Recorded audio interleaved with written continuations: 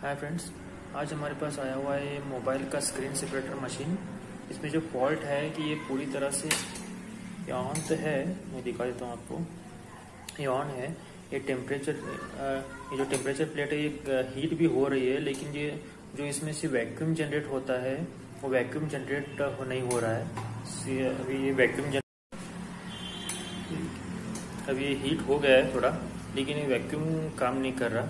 Vacuum का जो button है वैक्यूम का बटन दबाते ही इसमें से मोटर ऑन हो जाता है और इसमें से ये वैक्यूम जनरेट होता है, लेकिन वैक्यूम जनरेट नहीं हो रहा। इसको हम खोल के चेक करते हैं अभी कि इसमें क्या फॉल्ट है।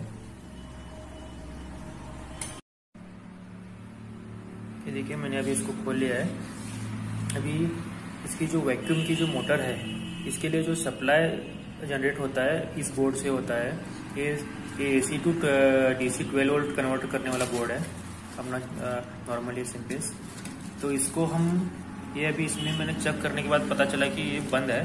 तो इसको हम डायरेक्टली आप इसको चेंज भी कर सकते हो या इसको रिपेयर भी कर सकते हो। अभी मैं इसको रिपेयर करूँगा। इसका जो ये ट्रांजिस्टर है, ये फॉल्ट है। देखिए आप, ये ट्रांजिस्टर फॉल्ट है। इसको मैं रिप्लेस करूँगा। रिप्लेस करने के बाद मैं दिखाता हूँ आपको ये स्टार्ट होता है या नहीं। इसको आप डायरेक्ट पूरा भी चेंज करवा सकते हैं।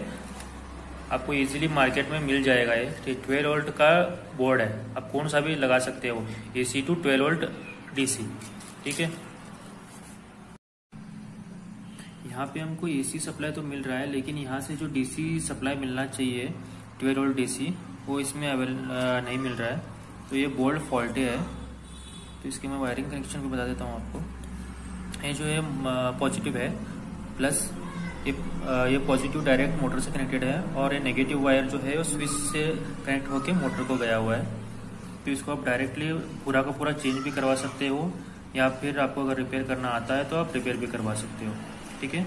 मैं इसको रिपेयर करूँगा। रिपेयर करवा के आपको दिखाता हूँ कि ये क्या स्टार्ट होता है या नहीं, देखेंगे हम। ये देखिए, अभी हमने इसको रिपेयर कर लिया है।